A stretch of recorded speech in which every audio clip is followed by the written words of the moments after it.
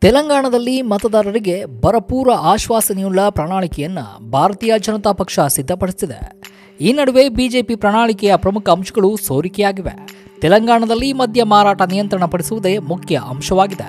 ತೆಲಂಗಾಣದಲ್ಲಿ ಅನಿಯಂತ್ರಿತ ಮದ್ಯ ಮಾರಾಟದಿಂದಾಗಿ ಹಲವಾರು ಸಾಮಾಜಿಕ ಸಮಸ್ಯೆ, ಕಾನೂನು ಸುವ್ಯವಸ್ಥೆಗೆ ಧಕ್ಕೆ ಉಂಟಾಗಿದ್ದು, ಇದರ ಮೇಲೆ ನಿಯಂತ್ರಣ ಸಾಧಿಸಲು ಬಿಜೆಪಿ ಕಾರ್ಯಸೂಚಿಯನ್ನು ರೂಪಿಸಿದೆ ಎಂದು ತಿಳಿದುಬಂದಿದೆ ಮದ್ಯ ಮಾರಾಟವನ್ನ ವಾರಕ್ಕೆ ಐದು ದಿನಗಳಿಗೆ ಮಾತ್ರ ಸೀಮಿತಗೊಳಿಸಲು ಬಿಜೆಪಿ ಮುಂದಾಗಿದೆ. ಸಂಜೆ ವೇಳೆ ಮದ್ಯ ಮಾರಾಟಕ್ಕೆ ನಿಷೇಧ ಹೇರುವುದು ಮುಖ್ಯ.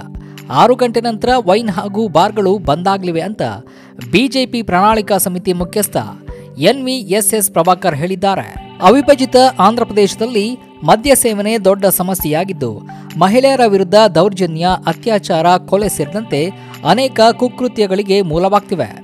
ಮಿಕ್ಕಂತೆ ಸರ್ಕಾರಿ ಸ್ವಾಮ್ಯದ ಸಾರಿಗೆ ಸಂಸ್ಥೆ ಮೇಲಿನ ಸರ್ಚಾರ್ಜ್ ಕಡಿತಗೊಳಿಸುವುದು, ಈ ಮೂಲಕ ಯಾತ್ರಾರ್ಥಿಗಳಿಗೆ ಉಚಿತ ಪ್ರಯಾಣ ಒದಗಿಸುವುದು ಬಿಜೆಪಿಯ ಗುರಿಯಾಗಿದೆ.